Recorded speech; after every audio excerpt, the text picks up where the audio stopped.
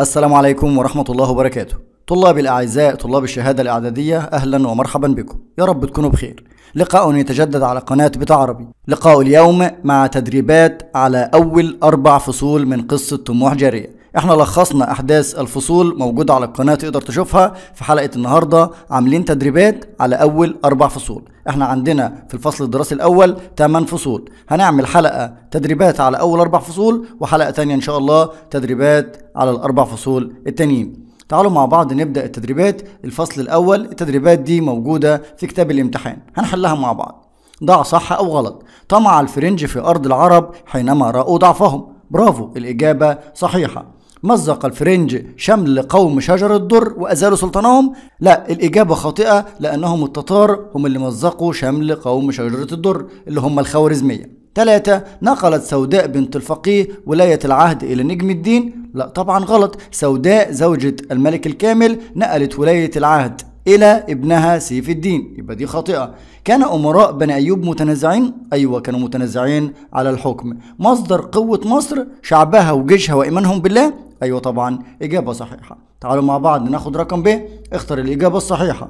بجيشي بجيش مين؟ يمكن صد خطر الفرنج. مصر والشام الشام والعراق مصر واليمن. لا طبعا بجيش مصر والشام نقدر نصد خطر الفرنج. اتنين جعل السلطان الكامل نجم الدين اميرا على إيه؟ مصر ولا الثغور ولا دمشق؟ لا ده جعله اميرا على الثغور بعدما عزله من ولاية العهد وعين مكانه سيف الدين. ثلاثة أكبر العقبات اللي كانت بتمنع وصول نجم الدين لحكم مصر. الروم ولا التتار ولا سوداء؟ هم كلهم عقبات بس أكبر عقبة هي سوداء بنت الفقيه زوجة الملك الكامل لأن هي اللي خلت الملك الكامل يشيل نجم الدين من ولاية العهد ويحط مكانه ابنها سيف الدين. مش بس كده ويشيل نجم الدين من مصر خالص ويحطه أميرا على الثغور في الشام. رقم أربعة أصبحت شجر الدر من الحرائر. بعدما استقرت في مصر ولا أنجبت ابنها خليل ولا هزم أهلها التتار الإجابة الصحيحة إنها أصبحت من الحرائر بعدما أنجبت ابنها خليل من نجم الدين أيوب. خمسة كان الخوارزمية أتباع للسلطان مين؟ السلطان جلال الدين ولا السلطان الكامل ولا سيف الدين؟ لا كانوا أتباع السلطان جلال الدين الخوارزمي.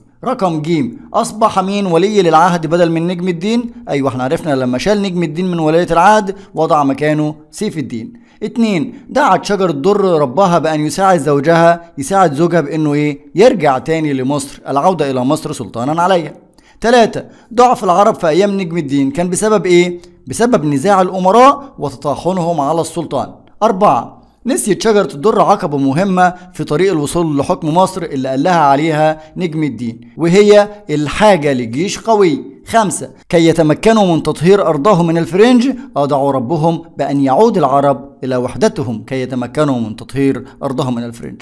الفصل الثاني تولى نجم الدين حكم مصر بعد وفاة الكامل؟ لا طبعا غلط. اللي تولى حكم مصر بعد الكامل هو سيف الدين. اتنين استعان نجم الدين برأي الكامل في فك الحصار؟ لا طبعا ده غلط ده استعان برأي مين؟ شجرة الدر برافو. تلاتة دبرت شجرة الدر خطة لإنهاء حصار سنجار؟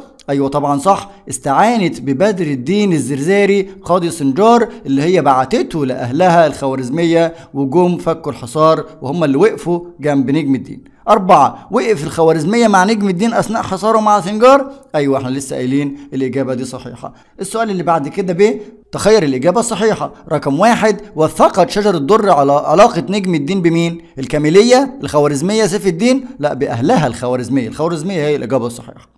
اتنين لقب سيف الدين بالملك الايه؟ الصالح الكامل العادل. لا لقب بالعادل. تلاتة كان توران شاه محاصرا من جيوش مين؟ من جيوش غياث الدين الرومي. توران شاه كان محاصر في آمد ونجم الدين كان متحاصر في سنجار من جيوش بدر الدين لؤلؤ. رقم أربعة كان نجم الدين منشغلا بإيه؟ عندما علم بوفاة أبيه كان منشغلا بمواجهة الأعداء. رقم خمسة كان الزرزاري قاضي إيه؟ قاضي سنجار اللي كان متحاصر فيها نجم الدين. السؤال اللي بعد كده جيم بيقول أكمل. ناب عن سيف الدين في دمشق. ده الاتفاق اللي عمله الأمراء وعينوا سيف الدين أميرا لمصر وكان النائب بتاعه في دمشق الجواد بن المظفر.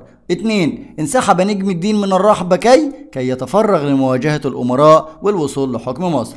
ثلاثة مين أمير الموصل؟ أمير الموصل هو بدر الدين لؤلؤ اللي كان محاصر نجم الدين في سنجار. أربعة أسرع نجم الدين إلى ليحتمي من الخوارزمية. أسرع إلى إيه؟ إلى سنجار خمسة اختارت شجر الدر الزرزاري لتنفيذ خطتها. بسبب إيه؟ كان بيتميز بإيه الزرزاري؟ لباقته قوة بيانه حسن مداخله. تعالوا مع بعض بقى نراجع على الفصل الثالث السؤال الأول صح ولا غلط؟ استقبلت دمشق نجم الدين استقبالا فاترا. فاترا دي عكس حارا. لا هنا الإجابة هتبقى غلط لأنه مش استقبال فاتر كان استقبالا حارا. اتنين أبدى القماش اعتراضه على عرض الجواد؟ أبو بكر القماش اعترض؟ لا طبعا غلط. ده فرح جدا وقال له صفقة رابحة يا مولاي. ثلاثة لم ينجح العادل في خداع الجواد؟ أيوه صح إن معرفش يخدع الجواد والجواد بعد كده استعان بنجم الدين. أربعة فرح نجم الدين عندما رأى الدينار الجديد. لا طبعا ده أول ما شافه بان على وجهه الغضب. خمسة كان داود الأمر الناهي في قصر العادل. أيوة دي الإجابة صحيحة لأنه كان من المقربين إلى السلطان العادل سيف الدين.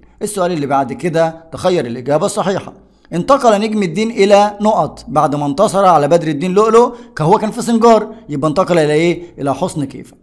اتنين حمل القماش أنباء عن تدبير نجم الدين لدخول لدخول مصر. الأخبار دي هتوصلها للمعارضين لسيف الدين وهتخبرهم بأن اقترب الدخول لمصر. ثلاثة كان داود بيبعد الناصحين عن عن العادل ليزداد إيه؟ ليزداد تسلطا عليه يكون هو ليه الكلمة المسموعة أربعة أتى القماش إلى نجم الدين منين؟ من مصر أبو بكر القماش هو تاجر قماش من مصر أتى إلى نجم الدين لينقل له الأخبار رقم جيم قلق نجم الدين على أنصاره في مصر بسبب إيه؟ عدم تلقيه أي أخبار عنهم اتنين كتب على الدينار الجديد كان مكتوب عليه إيه؟ العادل سيف الدين ملك مصر والشام واليمن أرسل نجم الدين تعليماته مع القماش لمين؟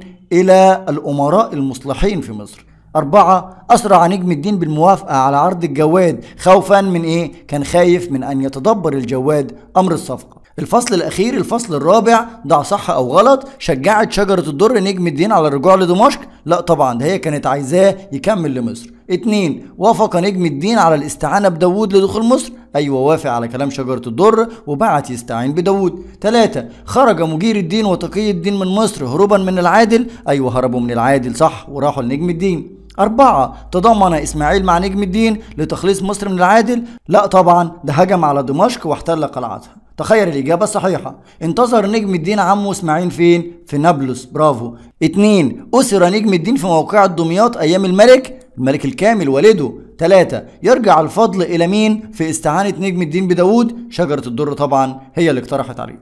السؤال اللي بعد كده أكمل. بعد سقوط دمشق في يد إسماعيل لام نجم الدين نفسه لأنه لم لم يحسب حساب إسماعيل وأطماعه. اتنين اقترحت شجرة الدر على نجم الدين أن يشتري غلمانا صغارا. ليه؟ ليكون جيشا قوي. تلاتة يرغب نجم الدين في الانتقام من مين؟ بسبب ما ارتكبوه من مظالم في مصر كان يرغب في الانتقام من الفرنج. دال من أكون. نصحت باللجوء إلى الأمير داوود بعد سقوط دمشق. من اللي نصح باللجوء للأمير داوود لما سقطت دمشق؟ شجرة الدر. اتنين أرسلت لي نور الصباح وورد المنى كتابا تحذراني من اتفاق نجم الدين والجواد عم نجم الدين إسماعيل. ثلاثة طلبت من نجم الدين تلبية نداء الواجب بالإسراع إلى مصر عمه تقي الدين. يبقى إحنا كده راجعنا سريعا كده على أول أربع فصول. إن شاء الله نراجع على الأربعة التانيين وإن شاء الله نحل كل امتحانات المحافظات مع بعض وإن شاء الله ندخل الامتحانات وإحنا واقفين على أرض ثابتة وبإذن الله نجيب درجة كويسة في العربي. بتمنى أكون قدرت أفيدكم أشكركم السلام عليكم ورحمة الله وبركاته.